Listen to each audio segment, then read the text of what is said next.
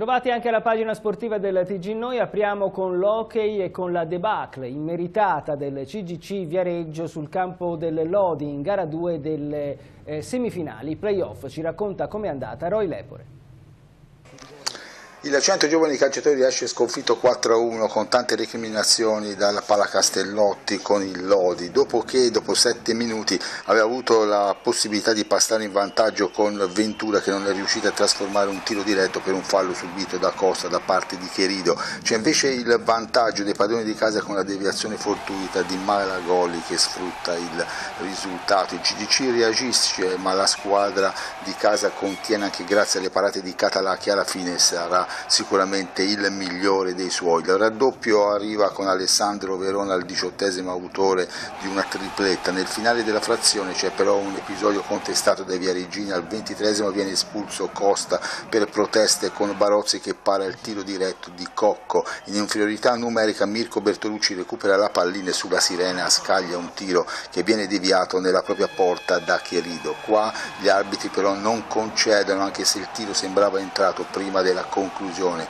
si va comunque al riposo con il CGC sotto di due reti ma con questo episodio che farà molto molto discutere. Anche nella ripresa Palagi e compagni giocano alla pari e cercano di andare in gol ma non ci riescono, la differenza la fa ancora una volta come detto il portiere Català. Al terzo lo scatenato Verona cala il triste con un preciso tiro dal limite, anche sotto di tre reti il CGC continua a giocare senza eh, demoralizzarsi ma trova come detto Català molto bravo brava, al diciassettesimo Verona completa la tripletta personale smarcandosi in aria e insaccando il troppo penalizzante 4-0, poi al ventunesimo Mirko Petrucci trasforma un tiro diretto del decimo fallo del Lodi e realizza, come si dice in gergo calcistico, il gol della bandiera. Sabato prossimo nuovamente la sfida al Lodi e si parte dall'1-1.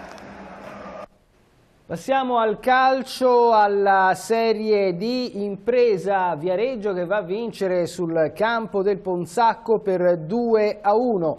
Gli altri risultati delle squadre della provincia di Lucca, Real Forte Querceta ha vinto 3 a 1 sul campo dell'Argentina, sconfitta invece per il Seravezza in casa, eh, ha perso contro il Sanremo per 2 a 1. Pareggio interno per il Ghiviborgo, 0 a 0 contro il Ligorna e in eccellenza il Castelnuovo, battendo in casa 2-0 il Castel Fiorentino, si è guadagnato la salvezza, evitando anche i play-out. Chiudiamo purtroppo con un lutto in casa lucchese, prematuramente scomparso Claudio Di Bert, presidente del club Fedelissimi Paolo Galli, è deceduto all'ospedale San Luca a causa di un malore improvviso. Da sempre amante dei colori rossoneri, insieme a Giuliano Lombardi era stato per anni tra gli organizzatori di trasferte al seguito della Lucchese. Di Berte lascia il fratello Stefano, la compagna Alessia Lombardi e la cognata Cristina. I funerali si svolgeranno lunedì alle 15.30 alla Chiesa dell'Arancio. Condoglianze alla famiglia da parte della redazione di Noi TV. È tutto anche per lo sport, adesso di nuovo la pubblicità, poi la terza e ultima parte del TG Noi.